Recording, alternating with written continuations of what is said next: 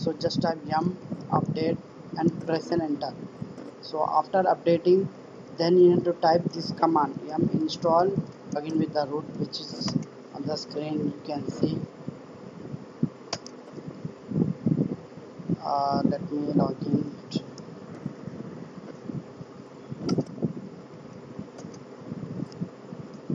Then you need to type yum install open ssh hyphen server